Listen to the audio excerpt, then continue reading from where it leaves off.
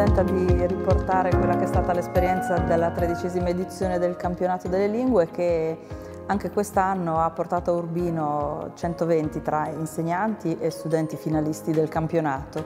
Eh, questa edizione è stata particolarmente vivace perché abbiamo avuto l'occasione di ehm, organizzare ovviamente la gara, gara che tra l'altro mi piace sottolineare è anche un momento di grande festa delle lingue, quindi è una cosa a cui tengo molto, ribadire il concetto che sì, siamo qui a fare una gara e a valorizzare quelli che sono i ragazzi più meritevoli, ma al contempo abbiamo anche piacere di parlare di lingue e culture altre, lingue e culture straniere in un'ottica di condivisione. E dunque questo è il primo scopo. Il secondo scopo della manifestazione è quello di mettere in contatto il mondo della scuola con il mondo dell'università eh,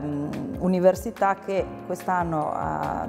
messo a disposizione delle scuole grandi strumenti, tanto che siamo stati in grado di ospitare colleghi che arrivano dalla Finlandia e dalla Grecia, persone, insegnanti e docenti che si occupano di centri linguistici, si occupano di formazione linguistica e che hanno messo a disposizione dei nostri ospiti la loro expertise.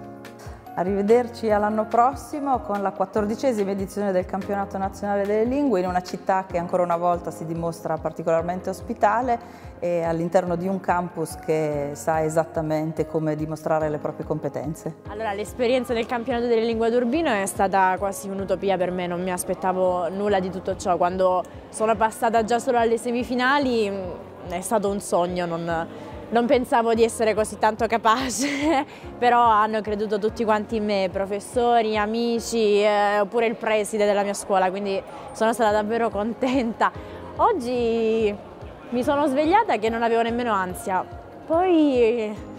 non lo so, mi sono sentita un influencer quando mi hanno dato la borsa e ho detto wow, quanti gadget! e poi quando mi hanno, dato, mi hanno consegnato il foglio ho iniziato a preoccuparmi un attimo